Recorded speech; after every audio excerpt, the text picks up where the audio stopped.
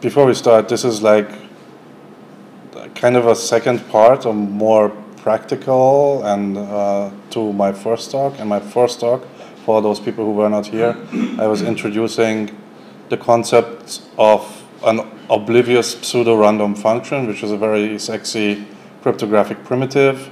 And I was showing uh, where they come from, what you can do with them, what kind of properties they have. Uh, some of them are more flexible, some are less flexible, some have super uh, strong security guarantees, some can do other things, and uh, they're super versatile, and um, and uh, they should they they are in a lot of places already today, and I, I expect them to be even more often and widely deployed in the future. And so that was like a theoretic um, foundation. And I'm going to refer back to some of the things I said in the previous um, talk. And I'm sorry if um, I try not to do that, basically. Um, but um, yeah, um, there is some continuity. Are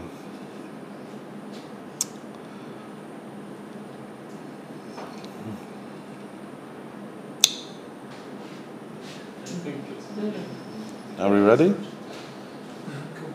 Cool. Okay. So welcome to this last talk of today. I'm going to talk about uh, my my project Klutshnik. It has a much more complicated uh, abbreviation, which I'm going to resolve soon. It's basically a key management thingy. That's it's the keeper of the seven keys. It's just such a brilliant uh, illustration to this whole concept, I had to steal this this uh, this cover. Um, so, uh, but uh, first, before we get into the topic, I'm going to do a short detour. What is hybrid crypto? It's basically what we do when we encrypt things everywhere.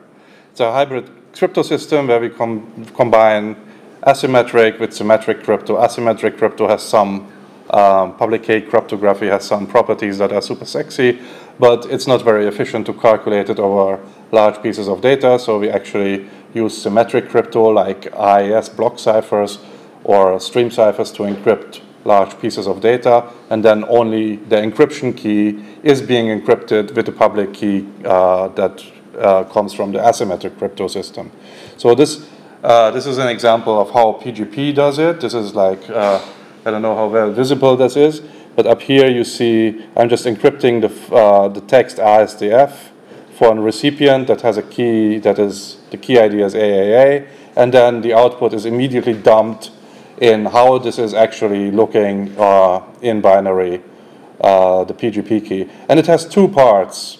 The first part is an encrypted session key, which is encrypted with your PGP key that is uh, referred to with the key ID AAA, and this encrypts an AES key and this AES key is encrypting the data that is, that is in the second packet.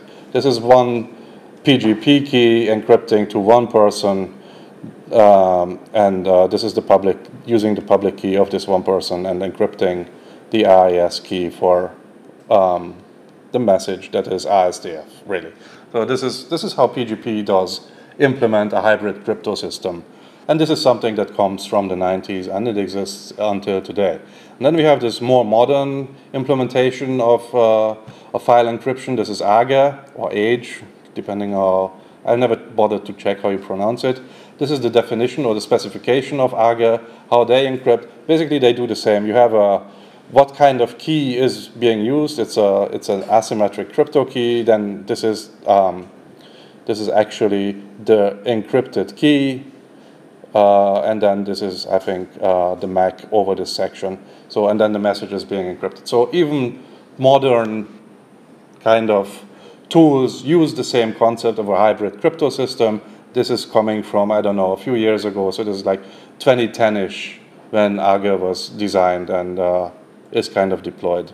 So nothing really changed except for maybe how things happen and how they calculate MACs and and some things. So this is this is pretty boring and old school stuff.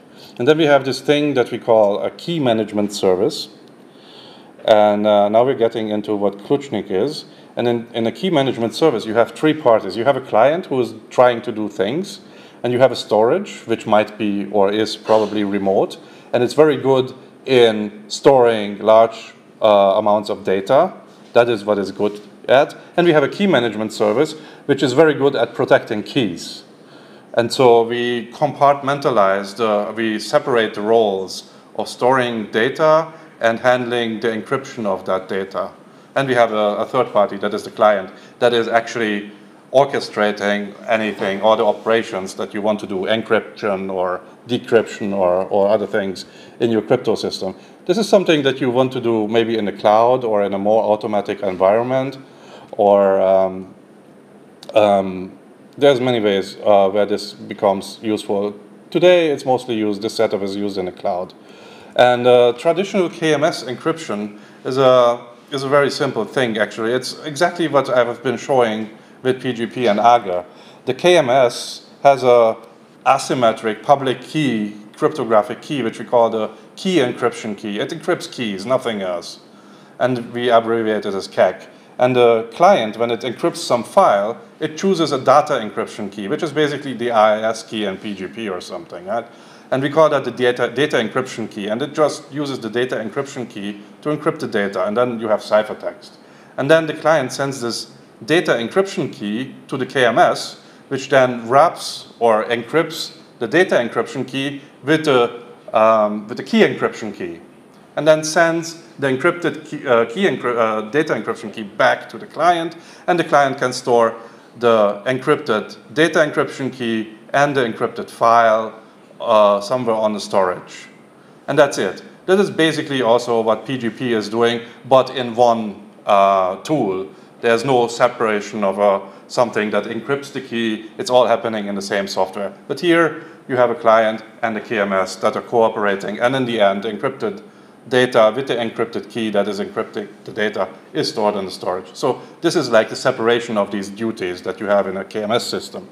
So this is traditional KMS encryption. And this, uh, the decryption is the, the opposite way. This is nothing surprising. You, the client gets the encrypted data with the encrypted key. It takes the encrypted key, sends it to the uh, KMS system. The KMS system checks if you're authorized, and then uses the key encryption key to decrypt the data encryption key and sends back the data encryption key to the client who now can decrypt the file and then is happy.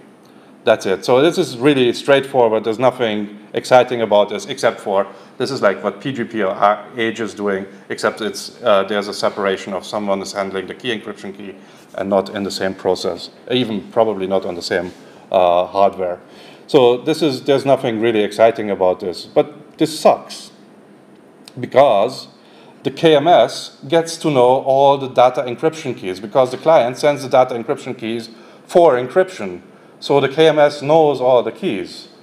Then the data encryption key, also the security depends on being encrypted in transport to the KMS. Because if there's uh, someone listening on your network, they learn all your data encryption keys. You don't want that, right? So, and then if you use TLS, you have like these middle boxes or TLS termination endpoints, they also learn your key. So there's a lot, even if you don't have a man in the middle, there's a lot of boxes in between your client and the KMS that learn the data encryption keys, and that really sucks. You really don't want that. And also, because the keys are tied to the data encryption, uh, data IDs, the KMS also learns which files you decrypt or encrypt. So the KMS learns almost everything about what you're doing and uh, learns all the keys and everything. And if your key encryption key is lost, uh, replacing it costs a lot of time. This is something you can only delete the key, the old key encryption key, as soon as all your encrypted data is re-encrypted with a new key. Because until then, you still need the old key if something goes wrong and you need to like, still, you have to keep two keys at, at the same time, the old one and the new one, until everything is migrated to the new one. So this, this really sucks. And um, the idea is to replace, uh, to use a, an OPRF.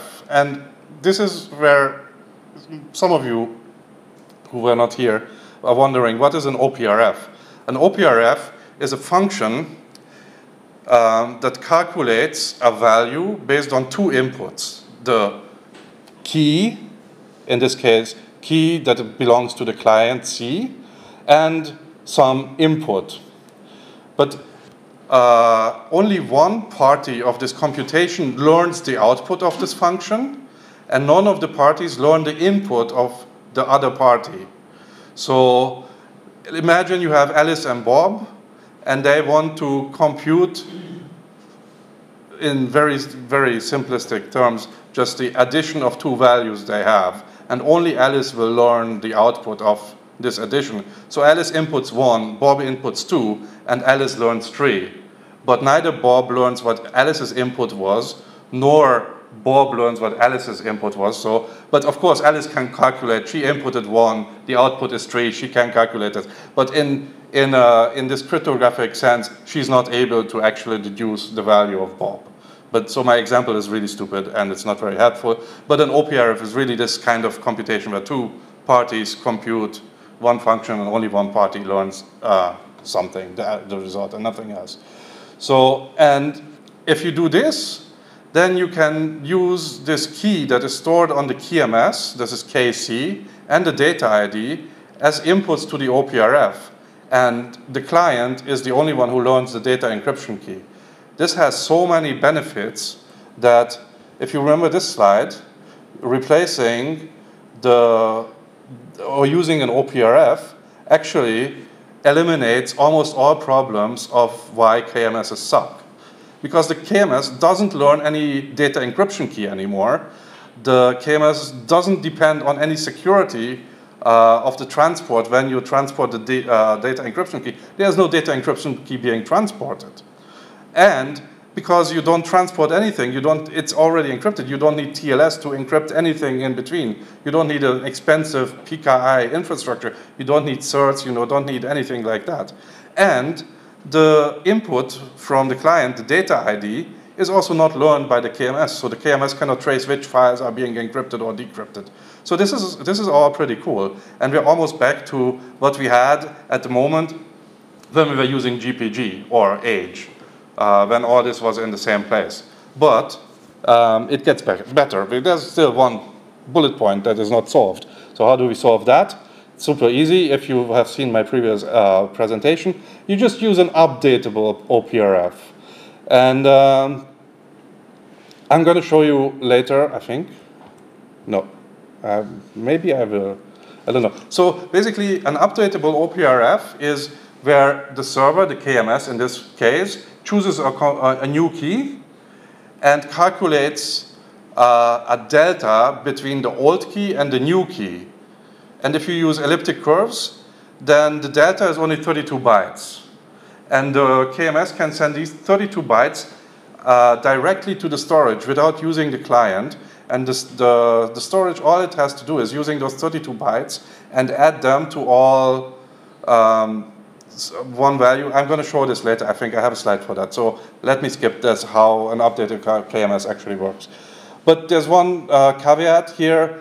Um, if you use a threshold system, you need to have at least two T plus one shareholders. This is a hard limit, and we're going to uh, understand what that means later on when I'm telling you about threshold system. Because, that is the next slide, if you use this whole thing in the threshold setup, you have a threshold updatable oblivious KMS and you don't have a single point of failure. The KMS itself, where your keys were stored, was something that can be DOSed, that's something that can be attacked by a nation-state adversary or someone with a, with a stick uh, hitting you in the head, uh, and then they have your key. And that's something you don't want.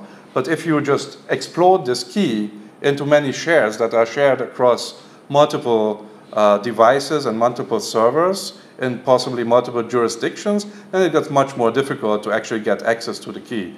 And the nice thing is that um, I'm going to show you later, actually this key is never reconstructed. This is just a, an imaginary concept that there is a key. The key never manifests itself in any, in any computer, in any RAM. It's just all the shares are contributing to, the to, to calculating an OPRF without actually the key actually ever manifesting itself. It's super cool. So this whole thing comes from this uh, awesome paper, Updatable Oblivious Key Management for Storage Systems.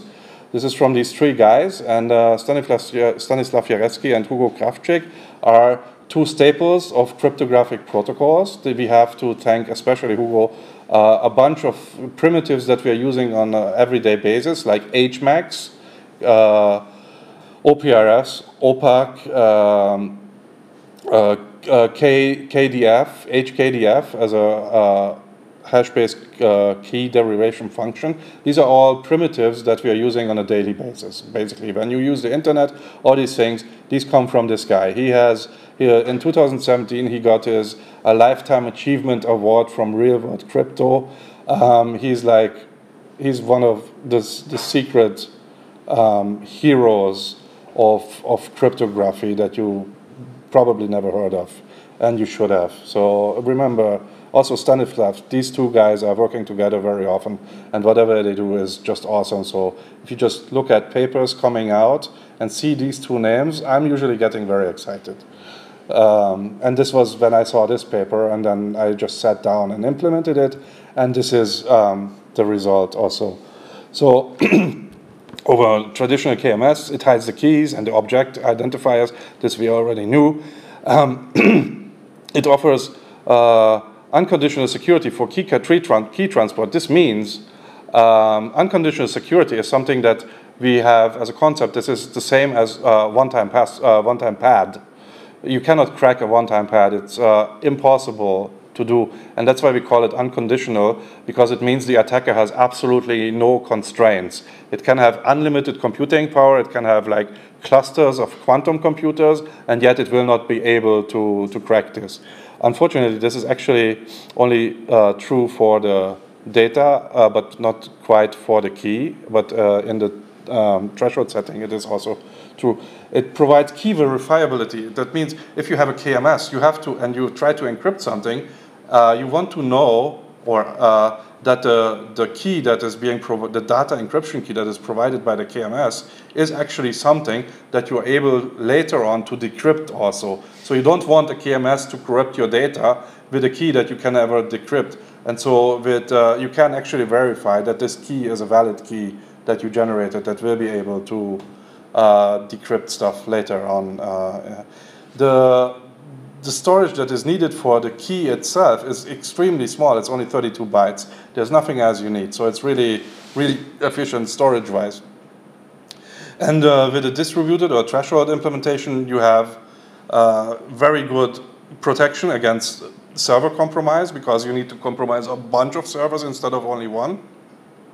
And you also have good protection against denial of service because you need to like uh, DOS a bunch of servers instead of only one and also because in a threshold setting, you can just put away a bunch of shares into an offline uh, secure storage, and so you don't even have a problem with a backup. So a bunch of people like store to store their keys in HSMs and hardware uh, uh, secure modules. Uh, and if they're good, then you cannot backup them because if you can actually get the keys out, then an attacker can also get them out. And then why do you use an HSM? So um, either you have an HSM that is secure and you cannot backup, and then you have a problem. But with this thing, you always can have like this offline backup, and you'll be safe. If one of your servers or shares get lost, you just get one out of storage, and uh, you're still safe. So backupping is also something that is much easier with this kind of setup. And then you have updatable encryption. That means that you can actually regularly update your keys, and if anyone has access to and leaks your your key shares, they will only be useful as long as you don't update your keys. And so you can get uh, post-compromise security. When your keys get compromised, you just update your keys and they're safe again. Uh, this is also a super, we cannot, well, you can do that also with uh, PGP, but with PGP it's much less efficient. With PGP, if you lose your, someone steals your key, what you have to do is you have to decrypt all your data and then re-encrypt it with a new key. So that is on many, uh, first of all, it takes a lot of time, decryption and encryption. It probably also takes a lot of storage because you have to store the files doubly, one in an encrypted form, one in a decrypted form, and then again in a, so it also takes storage. And then the third thing that is really, really sucks is you have to decrypt and your, all your secrets during the key update are in plain text stored on your system. And with this system, you do a key update without ever decrypting your data, and still you can update the keys, and they're still encrypted. There's a question, yes? Does the server have to cooperate if they do a key update? Does the server? Have to cooperate if they do a key update. So the server, the server. How do I make sure that the stuff encrypted with the old key is not accessible anymore? Okay, so the question is if the server has to cooperate to update the keys. Yes, the server is holding the key, so the server has to generate a new key. And uh, I'm going to show later on how that works. Uh, the output of that update is actually verifiable. That is what I'm saying, that when there's a key update, you can verify that the update is correct and all the servers were uh, executing their protocol correctly and none of them was compromised or evil. And you can be sure that this is a, is a good key. And the old key is not anymore. And uh, after the storage updated all the data encryption keys or whatever it's not quite data encryption keys, but, but something similar, then, then yes. Okay. Yes. And so you have, uh, and the nice thing is this whole thing is, uh, is a public key encryption scheme, uh, which means that for encrypting data, you don't need the KMS. You just go to the storage device, and the storage device can store your public key, and you just take the public key and use that to encrypt more data. So for encryption, you don't need to interact with the KMS at all. You only need the KMS for decrypting and for key updates, actually. So this is a bunch of, I think, really, really sexy um, um, things. So the pros is, again, very cheap key rotation, this post-compromise and forward security. You have threshold operation, which didn't exist in, in any of our legacy tools that we know until, or that we use or are deployed. Uh, you are much better protected against losing your keys or being denied access to your keys if you outsource this thing. And it's really nice if you like travel to a hostile uh, or cross a border and they want to have access to your keys and you can say, I have no keys. They're all on, uh, they're somewhere in some other country and they're all offline now. So you cannot decrypt your hard disk or at all. But at a later point in time, when your peers verify that you're safe, uh, they actually enable your shares and then you can access your data and decrypt. But you can travel without any keys and they're shared and uh, that's really, really nice. Yes? Or to use um, a bad word, uh, if you use a, a, blockchain time lock, you can also simply time lock your data. Yes, you can also use blockchain time locks to... Yeah, I mean, time, you have to do Yes, but with time locks you cannot verify if the decryptor is actually in a safe position because you just have to wait out the time. But here you have you can actually have some communication proving that it's safe to enable the shares, for example. And uh, the nice things here is also that the KEK, uh, the K encryption key, is not stored next to your data that is encrypted. When you consider uh, most people have PGP, they have a PGP key on their hard disk, and they have the encrypted data on the same hard disk. So I own your hard disk and I copy everything and then I just brute force your password for your PGP key if it's encrypted and I have it all. Um, and in this case, the key encryption key is, is actually shared and it's really difficult to get access to. And, uh, and so it's not stored next to the ciphertext. So this is also a really good thing. And then I think it's, I'm not sure if it's a contra, but I put, I needed to put some contrast here. So it's online. But online is, I'm not sure if it's really a contra. And the other thing is, it needs strong authentication. And so with PGP, your authentication is you know the password that decrypts your, your private key. So that's the authorization that you have here. But in this system, there's none of that stuff. So in this system, you actually need to have some strong authorization protocols that uh, guard your use of the key in the KMS from anyone else. This is, uh, this is maybe a contra, you need to wrap your mind around that, but it also enables a lot of other use cases that with traditional PGP keys you cannot do, or with AGE keys, or with CryptoLux, or whatever legacy tools we have. So this threshold construction and updatable encryption is, is something that really makes me excited about this. Go ahead, your question. Yes. Uh, wait, this is this encryption tool, right? Then I will ask it. We'll ask it after that. Okay. No question, only a break for drinking beer. So, and this, um, I implemented this, um, this paper.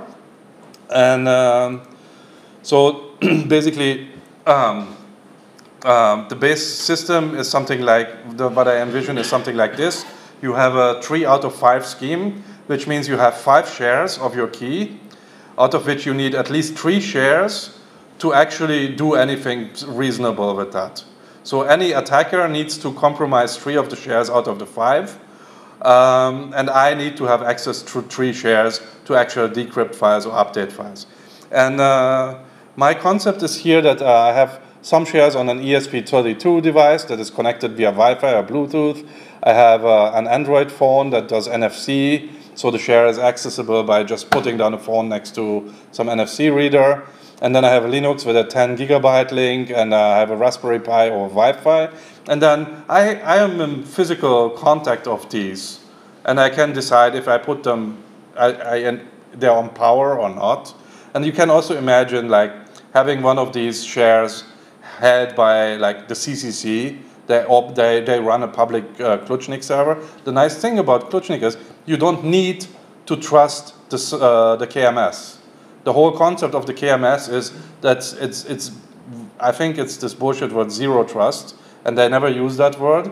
But here you don't have to trust uh, the KMS or what I call the Klutshnik server at all. It could be, in theory, uh, also operated by the NSA or whatever, and it still would be safe as long as you always verify that every operation is actually correctly executed.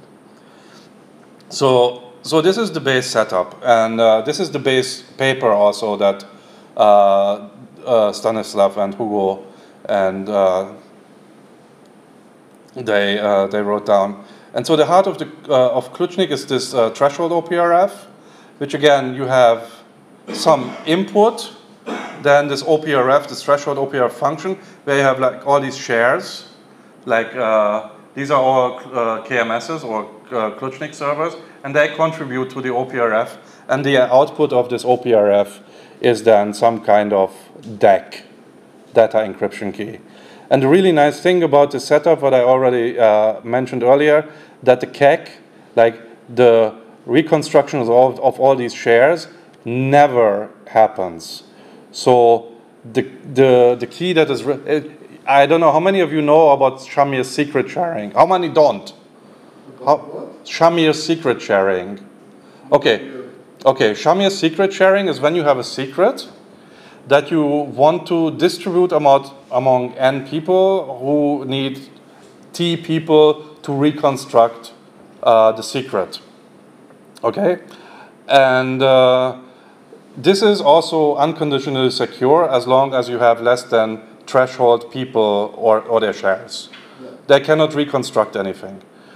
And, uh, but in Shamir secret sharing, that the whole idea is that you have a secret that you share with your friends or your family or whatever. And like when you die or when something happens, they come together and reconstruct the secret that you shared with them. And then they can decrypt your file system or something. So that is when you reconstruct the secret. And this secret in this system is never reconstructed.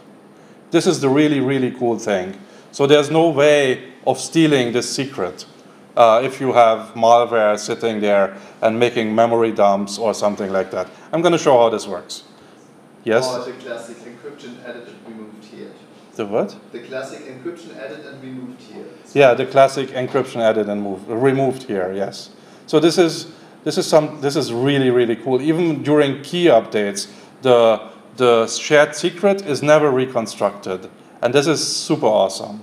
And yet you can calculate these operations. And um, the other magical thing that you need to add to this source is something we call distributed key generation. And this is how you generate such a shared secret without ever constructing the secret. So you could, in theory, just do Shamir secret sharing. The client generates a secret, and then just distributes it among all the share, uh, shareholders.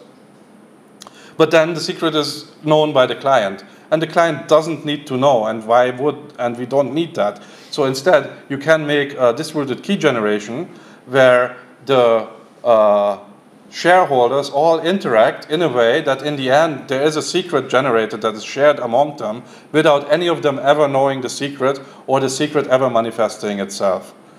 Um, this is like Shamir secret sharing, but there's no trusted third party or the secret. Yeah. Can they even reconstruct the secret five get together, for example? If all T members get together, they can reconstruct the secret, yes. But uh, the protocol itself doesn't do that. But this is what an attacker would do, right? You need to attack at least T members of this sharing to get enough shares to reconstruct the secret. So this can be an external attacker or an internal attacker. True, yes. So this is a dis distributed key generation is a super sexy concept as well. It's a bit difficult. It assumes quasi that all members of this uh, protocol that do DKG, they are synchronously communicating with each other. And this complicates things a bit. Um, and there is um, there's an implementation by uh, Aniket Kate and Ian Goldberg uh, who implemented something that doesn't need a synchronous uh, operation. And they were able to set up a system with multiple hundred shares over the internet all over the world and doing DKG and all this stuff. And it's amazing. But when you try to get it to run, it's this C++ mess with, with uh, many different directories that I have spent so much time to get it run and I failed. So this is like more of an still, I mean, it's practical and they proved it, but for me to set it up, it, it was too expensive to get there. I, I, after some time, I just gave up. Yes? Is that the one they use for Zcash? No, yes. Uh, no, they don't use this for Zcash, but Zcash also uses a DKG, yes. Yeah. And uh, so my solution for solving this synchronicity uh, issue and doing all this is that the client is actually in a star topology communicating with all the shareholders, but in a way that the shareholders are doing end-to-end -end encryption, so the client has no uh, access to what the shareholders are communicating with each other. And this actually also enables this multi-medium communication where one shareholder is doing Wi-Fi, the other one is USB, the third one is doing uh, Bluetooth, the third one is uh, NFC, and I don't know what else. So, uh, and otherwise they would have all have to support all these mediums and do direct connections. And how do you do a direct connection with something that only does NFC and the other one only does Bluetooth? How do they ever communicate? So it's impossible. So I, I opted for the star uh, topology, and this makes this whole thing much easier and uh, also enables this multi-medium uh, setup. Um, there's one other thing that is mm, important to mention that if you want to change the, the T parameter of your scheme, the threshold, then you have to restart the whole thing and regenerate everything and re-encrypt everything. You cannot change T. T is fixed. But you can actually change N. So you can generate more shares if you want that. That is possible. But um, you cannot do change T. Um, okay, so we have protected channels. You still need these channels to be protected. What I said, that uh, the client is like a star topology, and you don't want the client to learn anything of the communications between the shareholders. And for that, I use uh, the noise protocol, which is uh, something that is also, for example, used in WireGuard. Uh, and I use the XK pattern. Uh, and um, so this is this is very modern and it's um, it's very simple also and very efficient. So this should uh, you don't need TLS for doing this really, um, and I really don't want that. So um, the choice here is noise XK as a pattern. You can look that up. What that means basically means that the um, K means the that the the key of the server is known, but the key of the client is uh, not fixed but known. And this leads us to one of the authorization factors that we have because you can only it's like an authorized key file on each of the shareholders that only clients can connect to any of the Klutshnik servers or shareholders if they know already the client public key. It's like with SSH uh, authorized key file, right? So that is one layer of authorization. Only, only keys can connect that are already configured. The second uh, thing that uh, allows us to exert some kind of authorization, that you, have you can have physical control over the shareholders, like an ESP32 device or a uh, Raspberry Pi or something. You just switch it off and you control kind of like authorize if it's actually operational or not. And then there's a third thing that we use, and this is the this top. Uh, I use uh, a bearer token uh, for authorization to uh, use a certain key, and for that I use macaroons. And macaroons are like cookies, just much more powerful and much more sexy. And a few years ago, I gave a talk here at Camp++ about macaroons. And just as a short reminder, macaroon authorization tokens can be delegated, so I can pass on my, my token to someone else. I can attenuate it, so I take, can take away rights from the token. So it means I can like limit what you can do with this authorization token. I can say you can do less, or I limit it in time. I can say you can only use this tomorrow for one hour, this token. Uh, I can do all kinds of uh, limitations there. Uh, they carry their own proof, so they're completely independent. You don't need to query any database. Is this a token or is this valid or anything? And uh, some other things that are not so important. Um, but uh, macaroons are super cool things uh, you should consider um, if you ever have the idea to use a cookie, maybe you want macaroon. So, and then in Klutshnik, uh, a macaroon is minted when you new, create a new key encryption key with a uh, distributed key generation. And then this macaroon, this is like the master macaroon, is bound to this key ID of this, this new key. And the default is uh, a time to live of one year. So you have to like renew your macaroon in one year.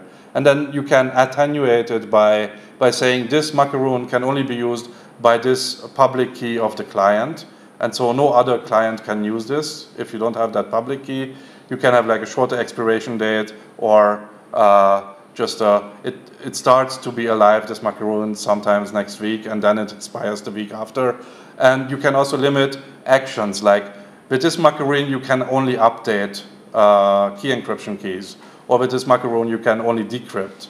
And so you can also separate these functions. And then you can actually have like a cron job that every day updates uh, your key encryption key with a macaroon that only enables you to update keys, but doesn't allow you to decrypt files, which is, I think, a super cool thing. So you can have like this automatic service that does key updates without actually being able to decrypt. Yes? If I understood your answer to the earlier question correctly, they still have to kind of re-encrypt the old data to completely. No, they don't have to re-encrypt the old data. So they only re-encrypt the data encryption key. Uh-huh. And it's not really re-encryption either. It's yeah, much more efficient. Yeah, exactly. It's also not. It's not very. It's much more efficient. Yes. Um, so you don't, uh, and I'm going to come to that in a few slides. So uh, for file encryption, because Sometimes you encrypt files that are much bigger and you want to have authenticated uh, encryption. And with uh, stream ciphers, you cannot do that in memory. So there's all kinds of stupid things that you can do, like make segments of 46 kilobyte, and then you encrypt those, and you have a MAC, and then you have a next segment, 46 kilobyte, and a MAC. Uh, but those can be just rearranged, or you can drop the end, and you can just truncate files.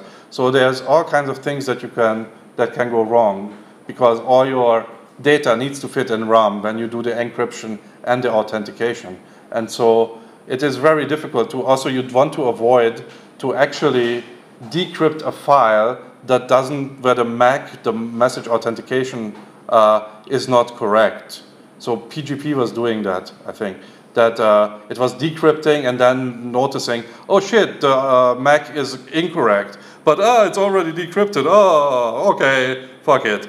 And so there's a, a, lot of things that can go wrong. And for that, I'm using, I'm, I'm using this paper, this online authenticated encryption and nonce misuse resistance, resistance paper that actually is a very strong, uh, has a strong security model and takes care of all these. And so this is like uh, something that is a modern construct for doing stream encryption while it is also being authenticated. And uh, so and this is also, I think, quite the same that, for example, AGE uses on for doing the, the final encryption of data. So this is something that I share with AGE. So, and here comes the slide on key updates, and this is something that if you saw my previous talk, it was quite the same, but there's some small differences here you might fall asleep, but uh, this is the exciting, and this is the only part where I see, where I show you some math and some Greek letters. Um, so um, for each client, the KMS has a secret key KC. C is for client, so each, um, and the storage has a public key, which is just this generator exponentiated by KC. So this is like a traditional elliptic curve uh, private public key pair, if we think in elliptic curves. There's nothing magic here. This is completely traditional stuff. And so uh, when you do an encryption, you don't even need to consult the KMS you just choose a random value r and just take the generator exponentiated by this random value, and you get this omega value.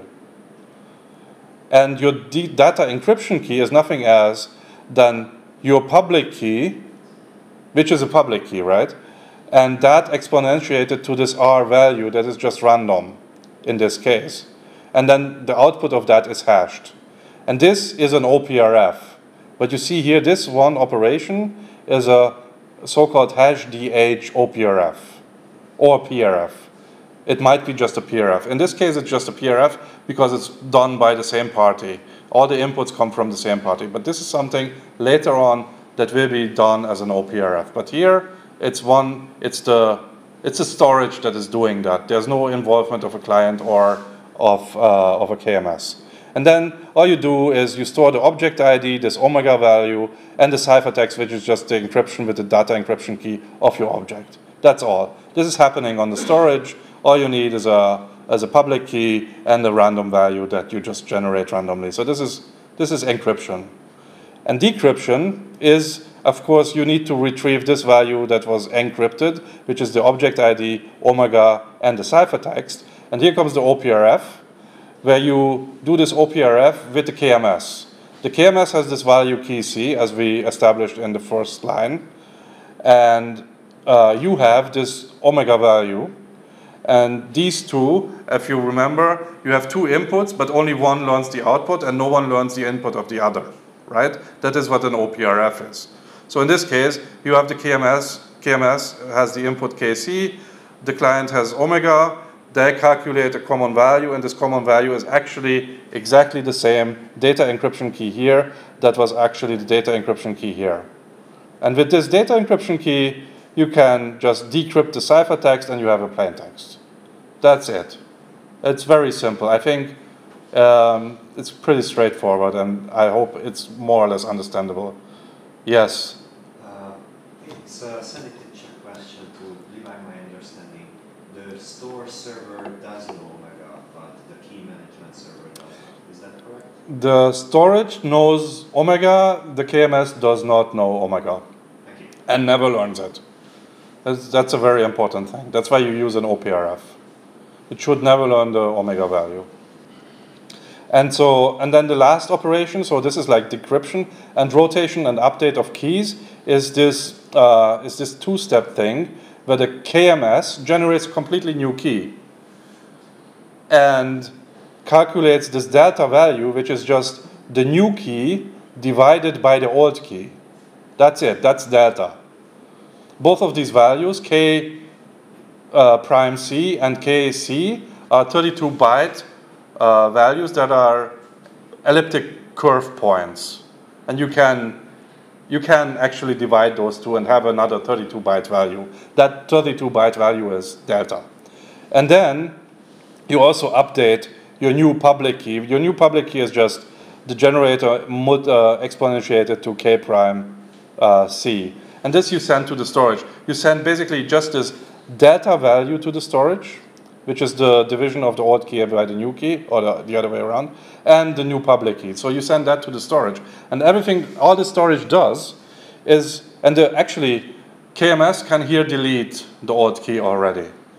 Um, and the storage just replaces the old public key with the new public key. And with each of these uh, encrypted files, which has an object ID, an omega, and a ciphertext, all it does, it exponentiates this omega value by delta. And what happens here is omega, if you remember, is um, um, this value. And uh,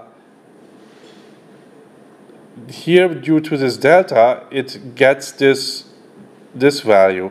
And when you do the OPRF, uh, you get this value, and, and then this KC falls out, and only KC prime stays. And so with this data, you can eliminate the old uh, key in your DAG and replace it with a new value. Yes? And I think about it like as an analog logic tool, like rolling cipher, where it like counts up one and then... It is kind of like counting up one like a rolling cipher, but really the, the keys are independent from each other, but the data encryption keys, they have a relationship to each other. So it's like the relationship is the division, like yeah. with rolling cipher, the relationship is like counting plus. But you eliminate the old key only, so it's like dividing by the old key. Omega is just really that, and then you eliminate that. That's that's what is. Yes. Uh, what if I want to implement a scheme where I have, let's say, two different machines that access a drive, and so in the traditional way with the Linux key slot, I would give each one key file, the key file goes to the key slot, and each machine has a different key file and unlocks the drive with a different key. Uh, so any of these machines that have access can open it, so like a one of n scheme. Hmm. Uh, how would it do that in this? Can we come back to this after, with a beer afterwards? Yes. cool. Okay, so the next step is how do you do this with an OPRF uh, in a threshold setting? So um, how how do you trans how how do you do this whole uh, thing with a threshold thing? And so in this case, you have this key that is k, and it's shared like a Shamir secret sharing, but we know that it's used it's generated by a distributed key generation, and it's shared among n shareholders with a threshold t.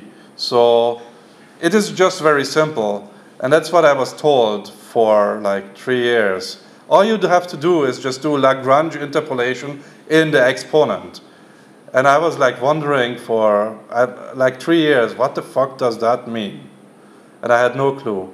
And it took me really a long time to understand and get a grip on that. And that's why I only implemented this now and not earlier.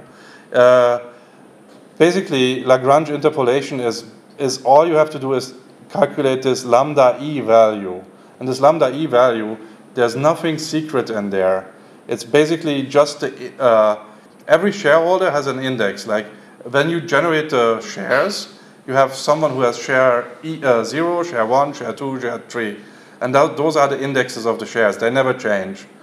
And when you do your operation, then some of these shareholders contribute. And the Lagrange uh, coefficient is just the indexes of the shares that contribute to this operation. So you know who uh, I got answer from shareholder 1, 2, and 3, and that's enough for me. So now the indexes, and I can calculate the, this lambda Lagrange coefficient. And all I do is I have to also do a scalar multiplication with that. Uh, and that's it. It's a very simple thing. And uh, it looks complicated here. This is the how you calculate lambda e, but it's really just a, a division and some multiplication in a loop. It's nothing else. It's really, and it's very simple. Um, it's like small numbers even. It's like the, the indexes of the shareholders. And usually you have like shareholders of five or so. So these are numbers of one to five or so. So these are very small numbers and very easily calculatable. Especially the only um, um, the only clue in this whole situation is that you actually do this not with, uh, well, you start with small numbers, but you do this in elliptic curve uh, fields. And then when you calculate these values, you get actually pretty random looking, pretty big numbers, but they're pretty constant. They're not really random, they're very predictable. But when you look at them, you are like, okay, what is this? And then you figure out this is like something like minus 25, but minus 25 looks like a random 32 byte value. And so there's two variants where you can do this either you know in advance the servers that you are communicating with, and you know their indexes because you know they're always online. So you can, when you do your operation, you can tell each shareholder, these are the indexes of all the others, and then the shareholders can do the Lagrange interpolation locally.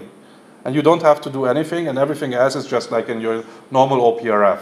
The first step where you blind is exactly the same, and if you know the indexes of who you're uh, working with, the, they do the Lagrange interpolation in the exponent, and everything happens there. And in the end, the last step is just a multiplication of all the results. But if you, but that is a, I think it's an optimistic uh, thing to expect. You know who's going to answer. Most of the time, you have like five servers, and you need only three answers. And maybe something is down, and you don't know which is down. But as soon as you have three answers, you can actually work. And then you have this random set of indexes that answer to you. And so this is the second operation that you can do, where the first two steps in the OPRF are the same, like the blinding and what the server is doing, but then you do the Lagrange interpolation in the last step. And these are the two variants that I described here.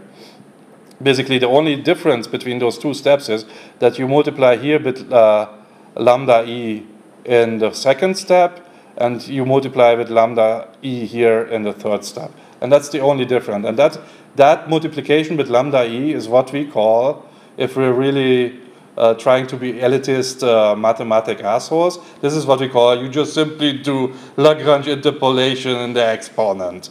And then you like, if you have no clue, you wait three years until you, you get a grip on what that actually means. So this is it. I spare you three years of thinking about this. And if you don't get it, I'm happy to uh, make it and uh, explain it to you. It's really, really simple afterwards. Um, so this is a threshold updatable KMS. Oh yeah, the, the next step is how do you threshold system where you can update uh, the key. When you have the key is shared among many people, uh, you have generated with a distributed key generation. Well, in this case, all you do is you generate a new value, p, and then all you do is, and this sounds simple again, it's not quite, you do a multi-party multiplication of the old key and this new value p, and that generates a new key, and p is actually delta already, so you don't need to calculate delta anymore, and you just send uh, each of the, but because p is never constructed on the clients, uh, they all have just a share of p. Uh, they do, so basically what is happening here, everyone has a share of k, and everyone has a share of p. But none of both of these values, neither p or k, exist ever reconstructed. And yet with this multi-party multiplication, you can actually multiply all the shares together and calculate what the multiplication of these two values would be if you would just know both of these values and just multiply them. But you do that in a multi, uh, in a multi-party computation way without ever reconstructing the values, and you get just this result the new shares that are shared by all these people are actually the result of doing the multiplication of k by a P, Yes?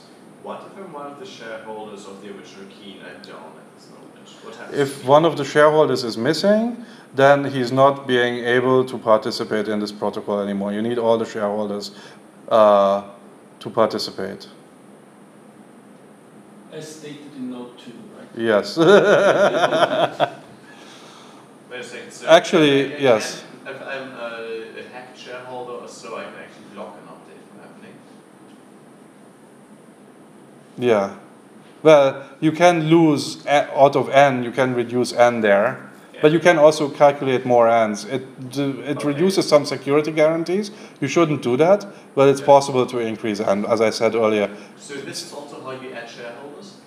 Sorry, what? This is also how you add shareholders? At this point, you could add shareholders actually when you key update in a way that is actually secure stays the same, right? It was like the T is unchangeable. And if you want to run this uh, threshold update, update uh, protocol, there's this hard uh, condition that you need to have at least uh, 2T plus 1 participants to this update.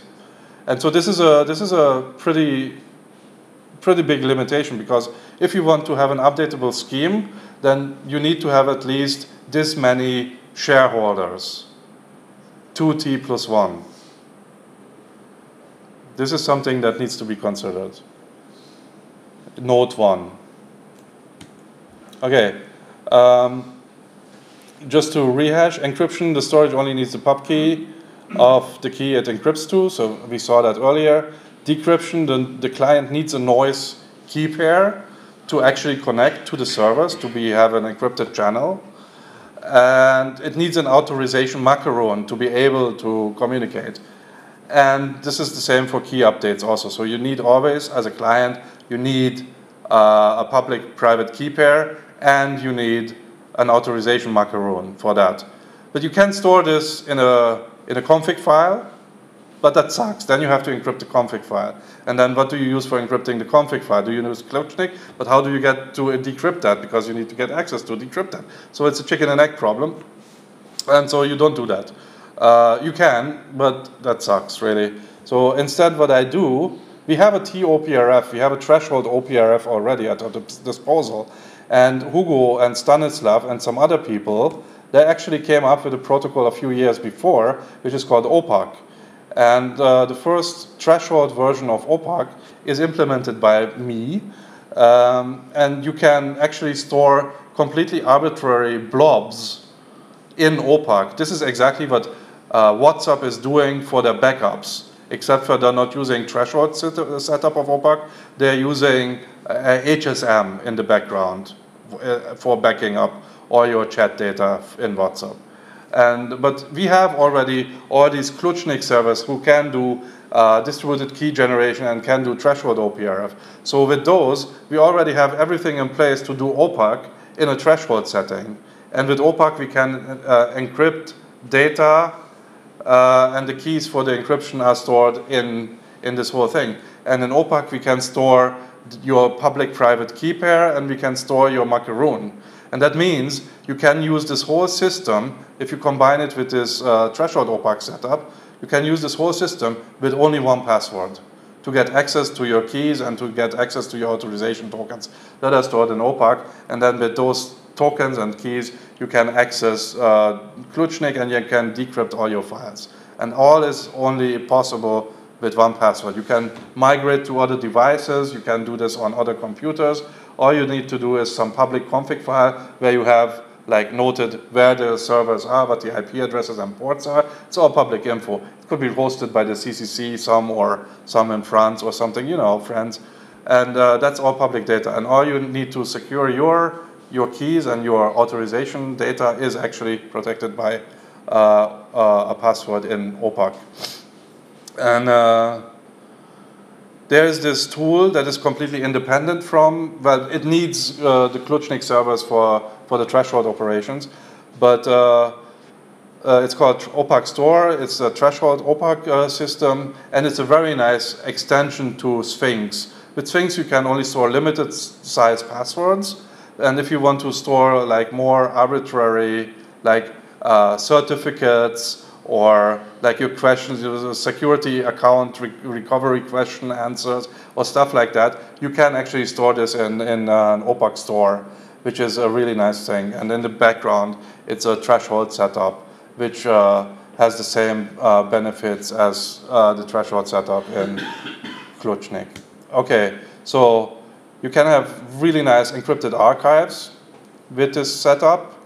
Uh, you can have one of the use cases for us is I'm doing, we're doing pen testing, and when we're done with the project, uh, we have all the artifacts during our pen test, the report and all the log files and the scans and shit like that, and we encrypt that and put it in offline storage so that when we are hacked, then you know this surprise offline backup thing by the technical debt collectors, um, we are losing less data than if everything would be online. So like for us, this is a really nice thing to keep our data offline, secure, and in a threshold setup where project managers and CEO have to agree together to recover and decrypt a previous project, for example. So this is some kind of archives that you can do with this, or backup or encrypted backups. Also online, you can just upload the, these backups then to Dropbox or whatever, they will have no access to it. You can pass border controls, as I said. You can also just share with the macaroons, you can limit the time someone is able to decrypt files. You can just share for, you have access to this for a week and then it's gone. And then you can also just, uh, and I think it, it has a different security model, so it depends on how you do it. But uh, in some cases, it might be better than just an HSM, especially if you depend on like uh, availability and you don't have backups and you cannot do backups, or if you need like for us uh, a committee to decrypt, or I am um, actually planning to do a Fusive front end, so you have like this encrypted file system based on this, where the directories each are their own like uh, meta files. And one of the things I'm going to do very soon is a Raspberry Pi image, so you can just set up dedicated Raspberry Pis that you can use via Wi-Fi as these Klutshnik servers, and then you just have your setup, and you can cheaply set up the system. You have physical access over it. You can place it at your mom, at your family, at your friends, or whatever. And you can tell them, Grandma, press the red button on the, the Raspberry Pi. And then it goes on or off. Um, so, and uh, I want to port this whole system to Zephyr OS. So it runs on all the embedded devices uh, via um, like, you know, ARMS and so on. Uh, and one more thing, the, the current implementation is actually, there's a one big, big problem. The macaroons are checked with a global key that is shared by all the uh, shareholders, and that really sucks because with the global key you can just fake any macaroon and anyone has any access. So this is just a tech demo. And in a final version, I actually I'm going to do a threshold signature over the macaroon. So everyone has to agree to sign a macaroon, and then they cannot fake that because they all have to co uh, cooperate. So we are also going to diffuse the authorization over multiple um, um, and and then somewhere in the future, I also want to do extend Sphinx, the password manager, to support this threshold setup, which is going to be super amazing. And then last but not least, I want to also possibly have like this generic API, so you can build your own threshold system based on that. And so you have threshold OPRF, threshold distributed key generation, and you just build your own client that does all kind of stuff with your own keys without having like access to keys that do Klutshnik stuff or something. So this is um, this is the future. And if you want to have a look, there's some Docker images. This is very small, but you can see the slides later on on the website. So there's Docker images where you can just uh, set them up and run them and play with this. Or you can look at my code, which is awesome. Uh, it's beautiful. And uh, I guess that's it.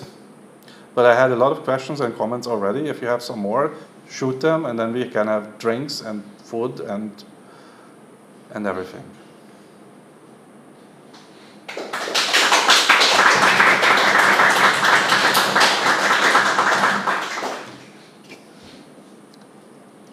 You still didn't, I didn't understand how you can decrypt it without uh, ascending the secret. Like some sequential operation.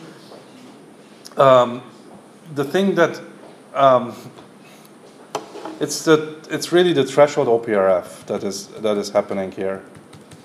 This one, this super beautiful picture of mine, is um, the output is the is the DEK, the data encryption key, really. And the OPRF never calculates the the key encryption key, really. The key encryption key is in those shares. And um, uh, maybe I can um, I can show you a slide from my previous presentation.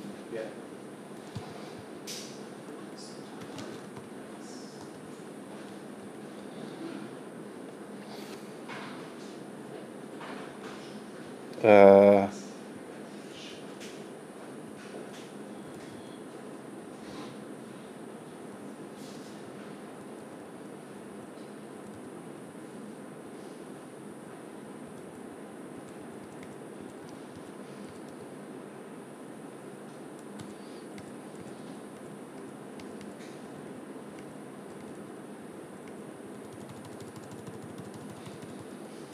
No idea where it is. Okay, so, but basically what happens here is uh, this is the this is the the the one the the non-threshold version of the OPRF, right? So in the first step, Alice has a message M, and there's a random blinding factor R, And then Alice hashes her message, and then which becomes a point on an elliptic curve magically. We've been waiting for this magic since 2002. What? Implementation left for the. Yes. Uh, and then just takes this elliptic curve point and raises it to this blinding factor R. And then it goes over to Bob, and Bob has its key, and it just multiplies this whole thing by K, his key, and then sends the whole thing back. And then you have like this value where you hm has been multiplied by r and k, and then you multiply it by uh, 1 divided by r, so r is falling out. And then that is the result, okay? Okay. So, and um, I don't have this here actually. That's uh, I should actually add this to this slide set, but uh, I think I have something here. Uh, But so. this is the, the concept behind it with the removing the known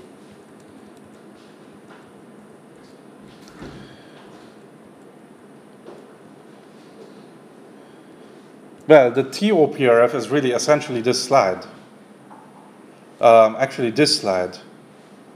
Um, so what happens here in the first step is exactly the same as I was on my beautiful graphics, where you have this R random value, which is the blinding factor, and then you just hash your message and then multiply it or exponentiate it to the blinding factor.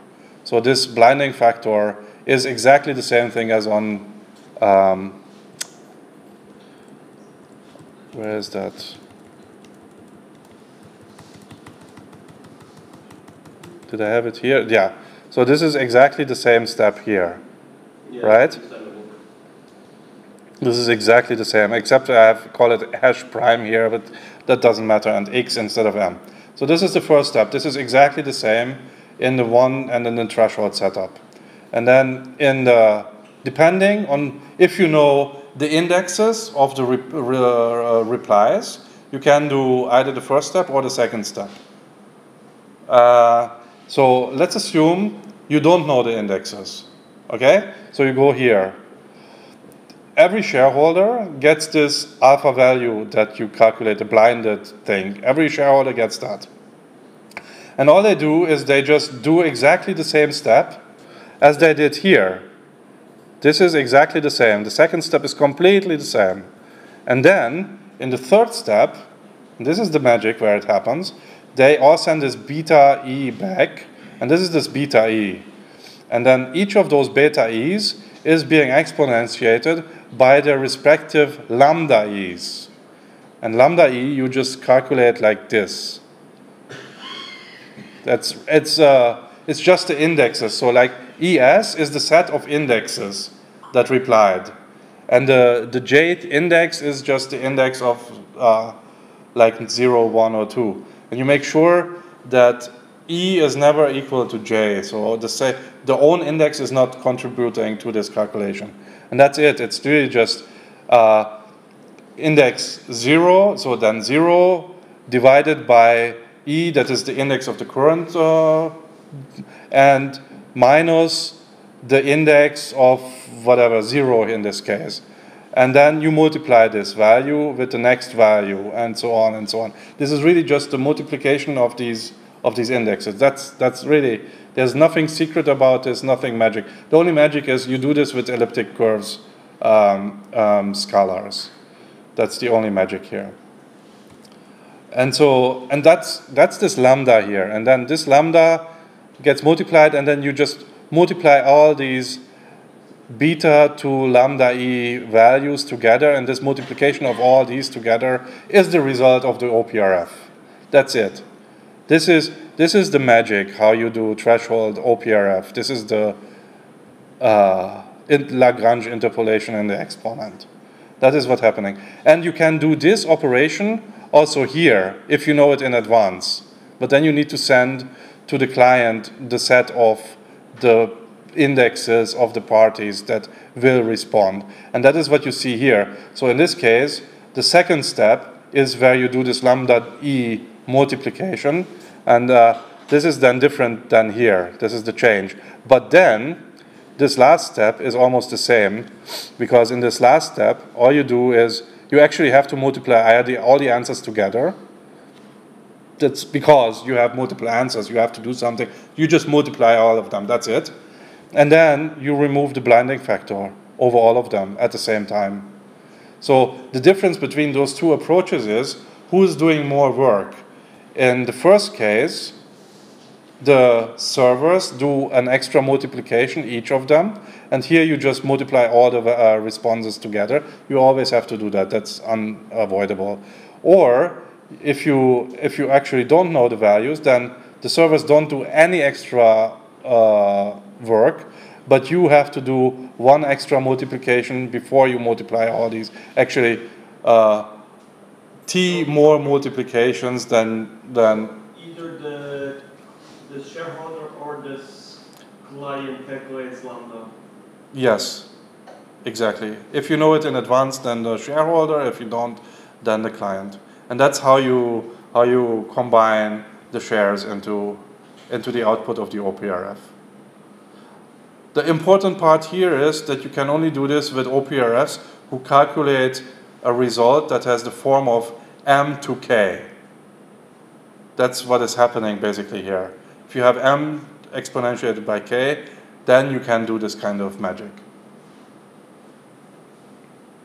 Now it makes more sense. You're welcome. Yes? The key encryption key on the KMS, that one always stays the same, right? No, that's what you update. That's the thing that you update. Ah, okay. That makes more sense. That's the one that you update when when you update it. And that's the one that is also exploded into shares. But the encryption key itself stays constant. The what? The encryption key itself? Which encryption key? Data or key? If you have a key encryption key, you have a key that you're encrypting, right? We- You have something like a key that you're Yeah. encrypting. It's not quite, but yeah. Yeah. There's no encrypted, there's no data encryption key that is being encrypted. The data encryption key is like derived. There's food being prepared and being shown, or Yeah. it's ready. Let's go and It's, it's 10 o'clock, so it should be ready. uh, let's go and eat if there's no questions. And if there is, I'm happy on the way back.